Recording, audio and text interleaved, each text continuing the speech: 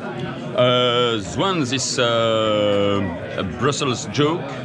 Um, it's it's uh, how, how, how can I explain? Even in French, it's difficult to explain as Zwanze.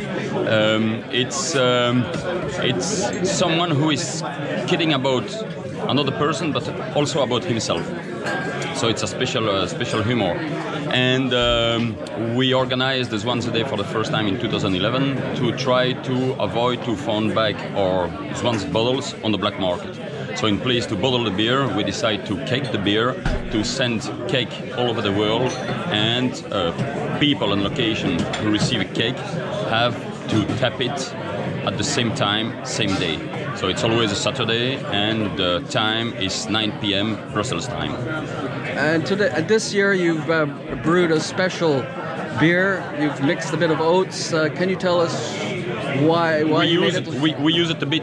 Uh, so in uh, 2016, um, we made um 2015. Sorry, we made uh, a special uh, brew with uh, smoked malt.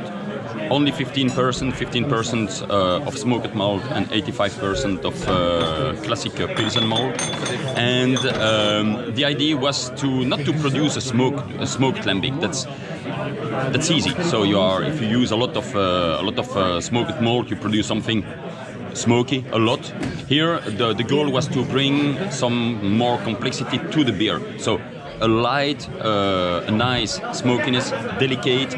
You found it back in the lingering finish, but you it couldn't be. So we, we called the beer a smoked gueuze, but the, the, the, the smokiness is really very very light. Excellent. Thank you for your time. Thank you. Cheers. Cheers.